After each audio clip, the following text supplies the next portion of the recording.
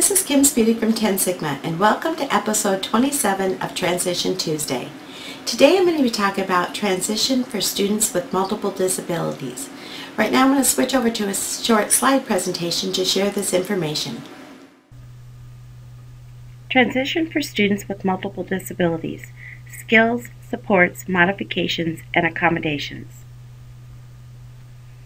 According to IDEA 2004, the multiple disabilities definition means concomitant impairments such as mental retardation and blindness or mental retardation and orthopedic impairment, the combination of which causes such severe educational needs that they cannot be accommodated in the special education program solely for one of the impairments.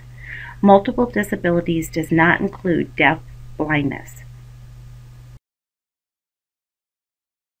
When working with students with multiple disabilities, it is important to carefully select inclusion options, supports, accommodations, modifications to address the student's strengths, challenges, and experiences. In doing so, this means that students with disabilities have what they need to access instruction and then are able to demonstrate what they've learned. Let's look further into each one of these considerations assessments, skills, inclusion options, supports, accommodations, and modifications. In order to determine the transition skills and students' current level of functioning, appropriate assessment should be administered, covering daily living skills such as money management and housekeeping, educational planning skills, job seeking and maintenance skills, self determination such as advocating skills, and social and communication skills.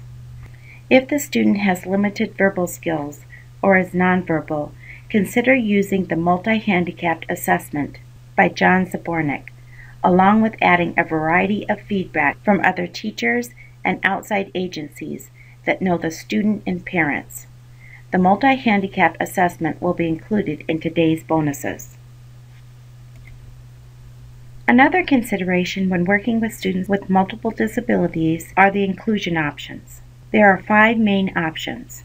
The first one is unadapted participation in the general education curriculum. The student completes activities written for general education with the same objectives and setting. The second one is adaptations to the general education curriculum, which means the student completes adapted curriculum they have the same activities and are in the same setting as the general education, but they have different related objectives. The third option is embedded skills within the general education curriculum. The student completes similar curriculum, they have similar activities, but different related objectives in the same setting. The fourth option is functional curriculum in the general education classroom the student completes different curriculum with different activities and different but related objectives, but they are in the same setting as the general education. And the last inclusion option is functional curriculum out of the general ed classroom. The student completes different curriculum with different activities and objectives in a different setting. Choosing supports, modifications, and accommodations.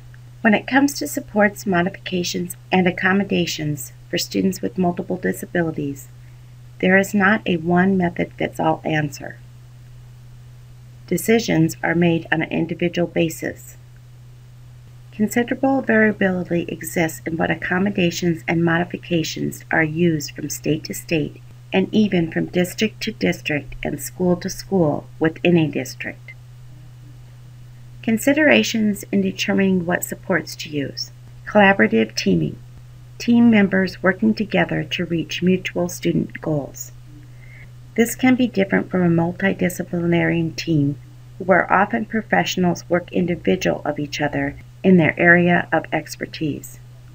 The second one is assistive technology, products that increase the student's functional skills, such as low and high tech technology, and augmentative and alternative communication devices.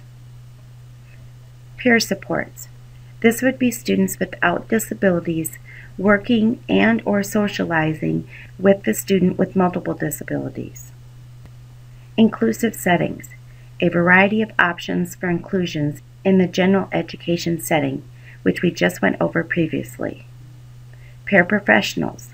They can support in general education as well as special education settings. And homeschool collaboration. School and family members work together to provide effective instruction for the student.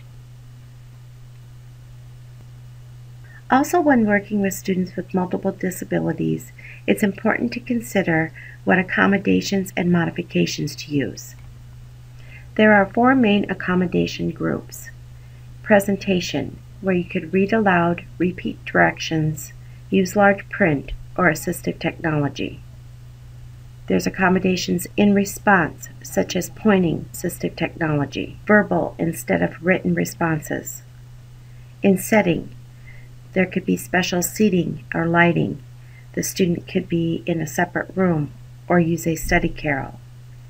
And timing and scheduling. The student could have extended time or frequent breaks. For modifications, there can be alternate books or formats used, questions could be reworded, or there could be a related activity. There also could be different expectations and or objectives for the student such as the assignment being lessened or changed. For today's bonus, I'll be sending you four resources. Go the Extra Mile with Nonverbal Students, which is an assessment by John Zbornik. The Life Skills Inventory from Washington State Department of Social and Health Services, including students with multiple and severe disabilities in the general education classroom by Jennifer Bolle from the Vanderbilt Kennedy Center. This is a great resource on the different inclusion models. And Curriculum Modification and Adaptations, downloaded from SPAN's Parent, Training, and Information Center. Thank you for watching the video. I hope you use this information to help your students with multiple disabilities make a successful transition to adult life. Please be sure to check your email for the bonus we just sent over.